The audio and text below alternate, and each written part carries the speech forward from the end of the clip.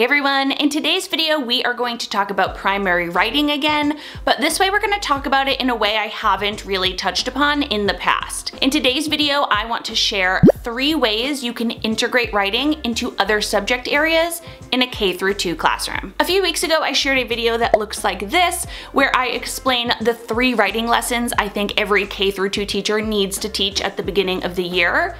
And one of those lessons is that we write for all different reasons.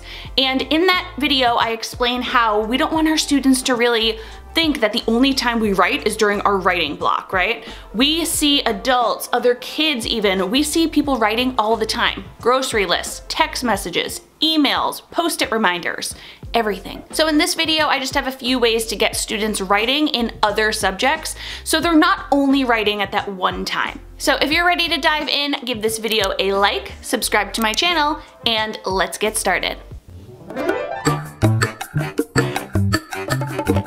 All right, the first way to integrate writing into other subject areas in a K through 2 classroom is to use sentence stems. Now, I love this activity because it's a very low stress way to gauge student learning after you've taught a lesson. In most lessons, you'll have that last two to three minutes be a kind of a wrap up, a closing, to discuss again what new learning students had, either through your modeled lesson or through group work, but just a way to kind of share and recap before you go into your next skill or subject. While we usually do this orally by either talking to a partner or talking whole group, if you have students write down their learning in a notebook, that's another great way to close out a lesson. Now for this type of activity, I like using sentence stems because it's applicable for kindergarten, first, and second grade students, and realistically they can add as much or as little as they want to get their point across to that sentence stem.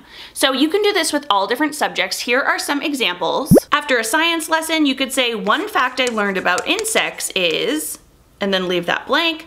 If you've done a reading lesson on making inferences, you can say, I can infer, and then put a blank line for them to fill in and then say because, and then again leave that open-ended as well. Talking about some social emotional learning, you can have them answer, I can show empathy by, and in math, they can really reflect on what they've done and they can say, one addition strategy I tried was blank. Those are just a few quick examples that you can easily take and extrapolate for any lesson that you're teaching, but it's just a great way to get students authentically writing about what they've learned. Now I mentioned earlier that I like students writing it in a journal. Many classrooms have different ways of setting this up. I know some classrooms have a journal or a folder of some kind with writing for every single subject. Realistically, in my first grade classrooms in the past, I would have just composition notebooks and that would be where they write write down these types of things. They can either free write in there if we're ever making a list or practicing some different things like that this is where they would do it. So all subjects would be combined and then we would just keep a little bookmark either with a post-it or if they had their own bookmark. So each day they could write down any new learning that happened. We would simply write the date on the top and then any writing that I had them do that day outside of their writing workshop, they would do in this little notebook. Strategy number two for integrating writing into other subject areas is to use an activity called expanding sentences. Now generally I teach students how to expand different sentences by adding more details in my sentence writing unit. It looks like this, but again that is usually within the context of writing itself and this is a very simple activity to get students doing across all different subjects. Now in that sentence writing unit I mentioned how I like to have students do this by asking the question words. So we have an anchor chart, it looks like this one here, and we walk through those question words to see where we can take a simple sentence add details to make it a super sentence. For an example of when you could use this across different subject areas, let's say you read the book Jabari Jumps. After you've read and talked about the book and done whatever lesson you wanted to, you would have students open up that composition notebook again, and instead of completing a sentence stem, you might write a sentence like, Jabari was scared three simple words and you would write it on the board. You can have students even copy that into their notebook as their simple sentence.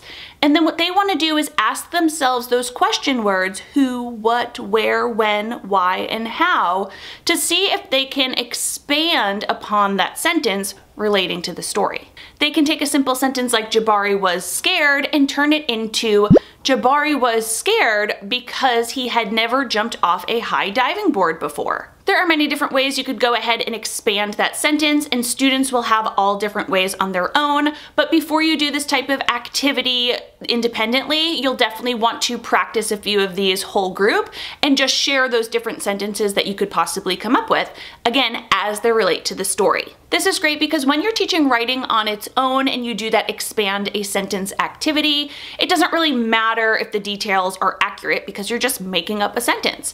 But here, since you want to relate it back to what students are learning, it's a great way for you to peek into students' composition notebooks or listen to them share their sentences and see if they've really understood the gist of the story. Another example for this would be after learning about community helpers, you might write, a police officer helps, period.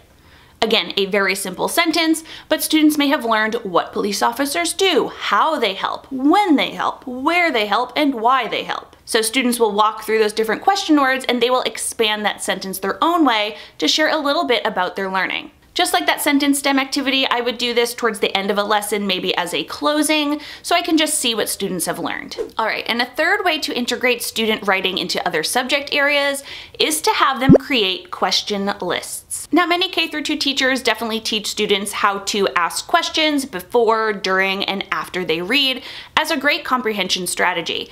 But I want students to be able to do this often and not just when I'm telling them to do so during a reading lesson, right? So what I like to have students do is using that composition notebook again, before I teach a lesson on any sort of subject, I can have students generate questions and again, instead of doing it orally, they can take that notebook and write down the questions they have before we dive into the lesson. And then let's say we're doing a science experiment or we're learning a social studies lesson, and anytime a question might pop up on the same day that I would have them write down questions beforehand, I would have them take that journal with them during the lesson, and as questions arise, they can write it down in their notebooks as well. This is just a really great way to get students practicing this comprehension strategy outside of just the reading block. I hope you can easily see through this video that all three of these activities are not exactly difficult ones at all.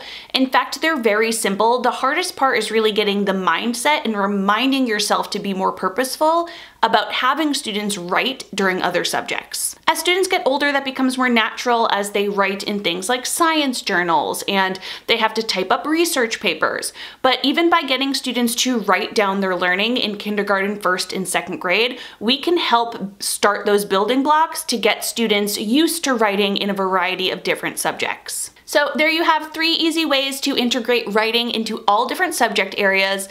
Just to reiterate and go over them again, we have use sentence stems, you can use expand a sentence, and make sure you have students generating lists of questions before and during their activities. If you have any other ways that you've used in the past to get your K through 2 students writing in different subject areas, drop them down in the comments below so we can take a look. You already know I love when teachers write comments on my videos. We can learn so much from each other as we go ahead and read and respond to these comments and I just love hanging out with you guys, so let me know how you're feeling down below. As always, I do hope you enjoyed this video. Go ahead and give it a thumbs up so I know that you did. Make sure you're subscribed to my channel and click that bell. That way you get an email every time I upload a new video. See you in the next one. Bye.